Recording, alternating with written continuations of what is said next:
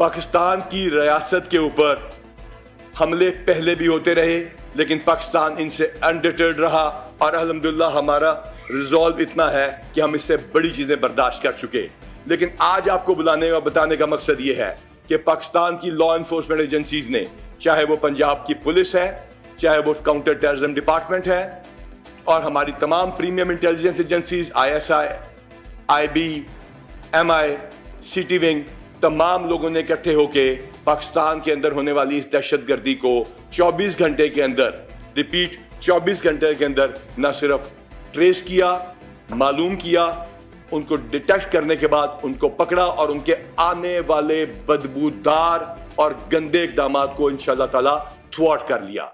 ये जो चूहे पाकिस्तान के खिलाफ साजिशें कर रहे हैं, उनको हमारा बड़ा साफ़ पैगाम है कि आप करते रहिए। हम तैयार होकर अब आपको पूरी दुनिया में एक्सपोज करने के लिए जा रहे हैं। हमारी फॉरेन ऑफ़िस और हमारे तमाम इदारे इन पूरी दुनिया के अमन के लिए काम करेंगे और ऐसे तमाम होने वाले हौलनाक इकदाम जो पूरी दुनिया में ये करना की कोशिश करते हैं और फिर खुद से डिक्लेयर कर देते हैं और खुद से कह देते हैं कि ये फलां वजह से किया, ये सब अब एक्सपोज होने के लिए जा रहा है। पाकिस्तान पे झूठे इल्ज़ाम लगाए गए और वो भी इन ताला हमने एक्सपोज किए और अब वो खुद ऑन द रन होंगे और हम इन ताला एक कौम बन के ये साबित कर देंगे कि ये झूठे हैं और ये बदकार हैं और ये दहशत गर्द हैं। आप सबको पता है कि सियालकोट के अंदर, एक मस्जिद के अंदर सुबह के वक्त फायरिंग करके कुछ अफराद को शहीद कर दिया गया।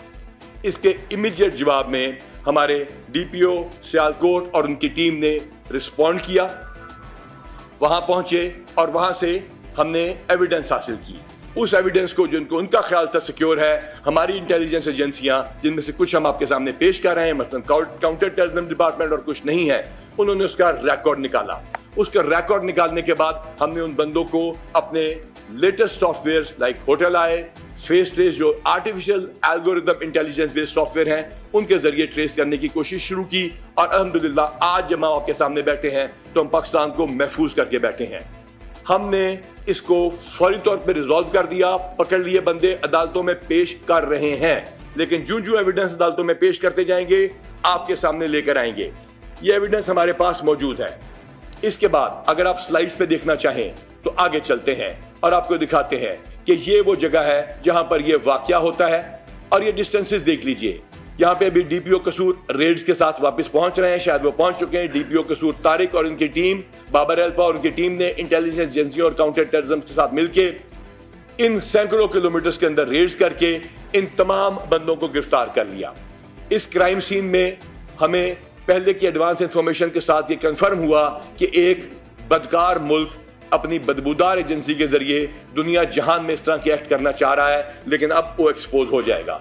आगे चलते हुए आपको दिखाते हैं कि ये पाकिस्तान से बाहर प्लान हुई, इन लोगों की मुलाकात हुई। ये होस्टाइल इंटेलिजेंस एजेंसी ने पाकिस्तान में बंदों को भिजवाया। वो कौन सा बंदा है? वो आया, उसने किस किस से मुलाकात की? ये हम आपको विद प्रूफ दे रहे हैं। ये वो तमाम काउंटर टेररिज्म डिपार्टमेंट के वो चीज़ें हैं जो हम अदालत में पेश करने जा रहे हैं, जिसमें इनकी जियो लोकेशन जियो फेंसिंग और बाकी चीज़ें मौजूद हैं।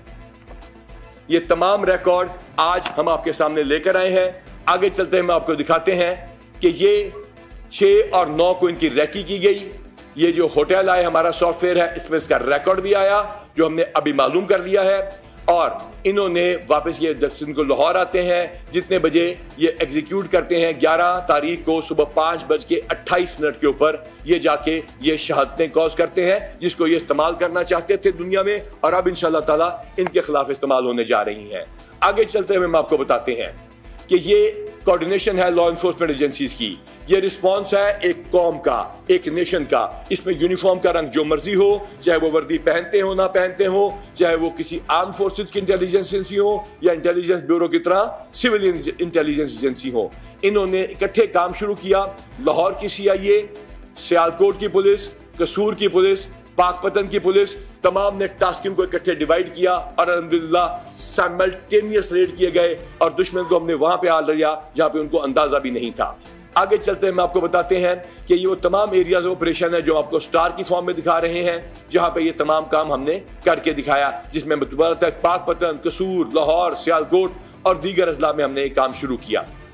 फिर हम आपको बताना चाहते हैं, आगे चलते हुए, कि ये वो ग्रुप है जिसका नेटवर्क इन ताला नाम के साथ आपको बताएँगे। उनके नामों के साथ आपको बताने जा रहे हैं, ये फैसिलिटेटर ये रैकी करने वाली एक्स पार्टी, ये रैकी करने वाली दूसरी पार्टी, पहला शूटर, दूसरा शूटर, तीसरा शूटर, अल्हम्दुलिल्लाह, हम लोगों ने न सिर्फ़ गिरफ़्तार किया कसूर में, पाकपतन में, लाहौर में और सियालकोट में, बल्कि हम अदालत में पेश कर रहे हैं।